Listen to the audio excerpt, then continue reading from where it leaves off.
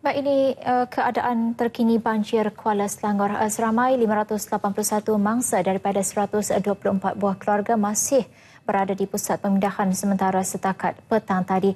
Berikutan, orang ramai telah mulai pulang selepas air banjir mulai surut.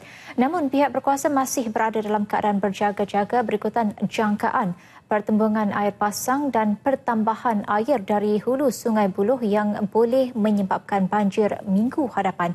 Sebanyak enam buah pusat pemindahan masih beroperasi dengan SK Parit Mahang. Kampung Parit Mahang mencatatkan jumlah mangsa tertinggi iaitu sebanyak 408 orang.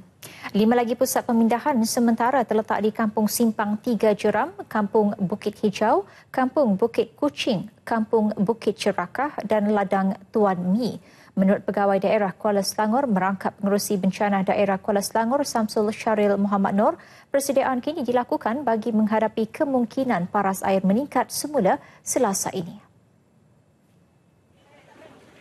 JPS dan giat membersihkan parit-parit di kawasan yang sering berlaku banjir ya, yang ataupun di kawasan yang rendah terutama di kawasan Parit Mahal lah.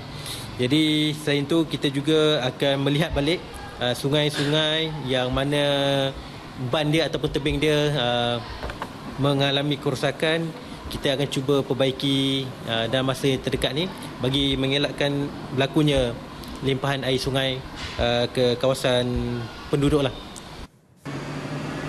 Banjir melanda Kuala Selangor sejak Rabu lalu selepas hujan turun tanpa henti dan mengakibatkan paras air di tiga sungai utama di kawasan itu.